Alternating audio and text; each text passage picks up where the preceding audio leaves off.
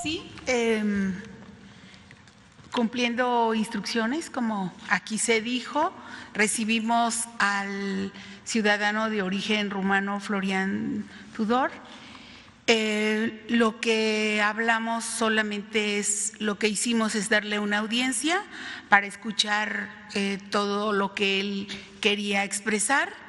Eh, al final, después de que él hizo sus alegatos, que él hizo una exposición general, en donde hay eh, documentos, muchos de los cuales son públicos, eh, lo escuchamos y le dimos la fecha para la audiencia, para la garantía de audiencia que tiene con la UIF y eso fue todo. Eh, los documentos que le entregó están este, para eh, en nuestra eh, en nuestras manos, en nuestras manos, en nuestra oficina y en general es información pública.